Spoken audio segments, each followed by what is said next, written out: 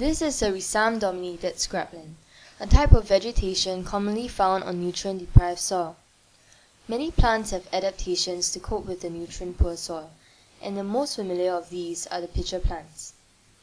In Singapore, there are three species of pitcher plants, and here we have the Nepenthes gracilis, also known as the slender pitcher plant. The pitchers lure insects by secreting nectar at their rims. Insects slide off the rim and into the pitcher fluids below, where they drown and are digested, thus supplementing the plants with nitrogen.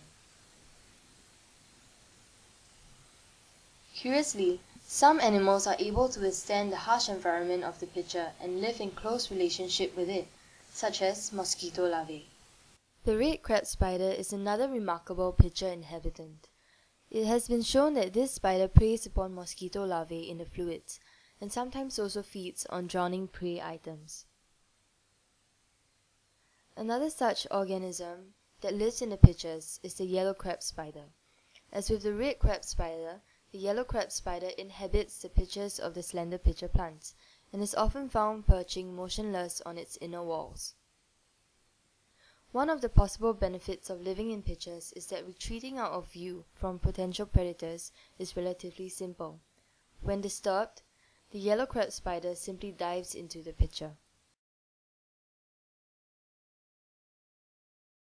The spider spends its whole life in and around the pitcher, and in fact even builds its silk nests on its walls, where it raises its young in the safety of the pitcher.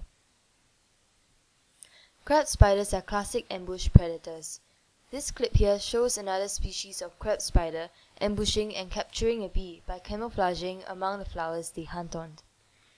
Watch how the powerful legs of the crab spider are able to grab hold of their prey easily.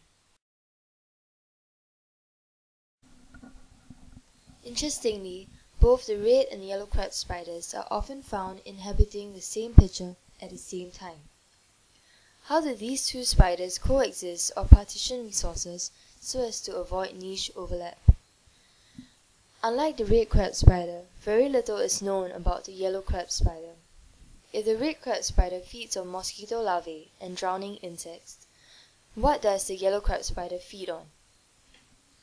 And why is the yellow crab spider often seen perching motionless under the pitcher's mouth instead of hiding in the safety of its depths? Many flying insects visit the slender pitcher plant to feed on its nectar, but these are rarely caught by the plant, since they seldom walk around on its rim long enough to fall in. We hypothesize that the yellow crab spider, like some of its other relatives in the crab spider family, is an ambush predator that hunts flying insects. This idea was sparked by the observation of yellow crab spiders feeding on flies just below the rim of the pitcher mouth on several occasions. In this clip, our team placed an immobilized fly on the rim of a pitcher. The yellow crab spider, alerted by the struggling of the fly, approaches it and grabs it.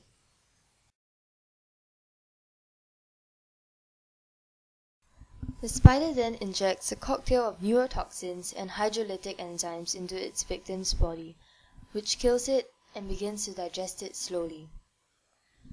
This is possibly the first time the yellow crab spider's hunting behavior is caught on video.